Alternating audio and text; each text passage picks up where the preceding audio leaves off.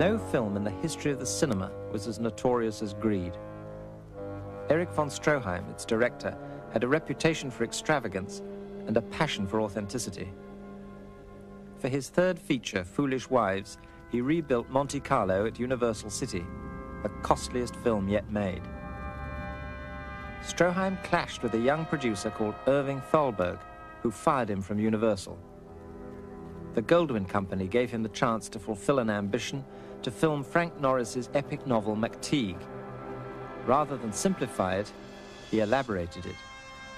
Early in 1923, Stroheim went to San Francisco where the novel was set. His use of location was revolutionary. He not only shot real exteriors in real streets, taking over an entire block which exists to this day, he filmed inside the houses too, and made the actors live in the rooms. Walls were torn down to make room for cameras and lights. I can't cheat, Stroheim said. My mind doesn't work that way. The final sequence was shot in Death Valley, 125 degrees. The cameras had to be protected with covers soaked in water. And that water would uh, evaporate in about five minutes, but it kept the magazines cool. And Stroheim, he had a very funny get up. He was dressed in uh, shorts.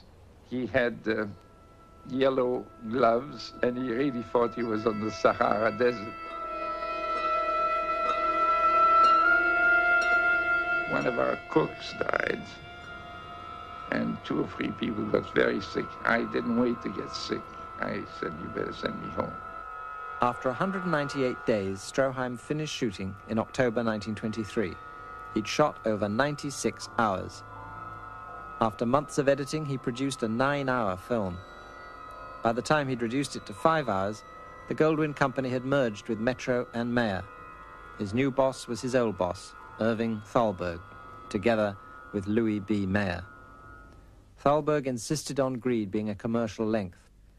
In despair, Stroheim sent the cutting copy to his friend, the director Rex Ingram, whose editor, Grant Whytock, reduced it to three and a quarter hours.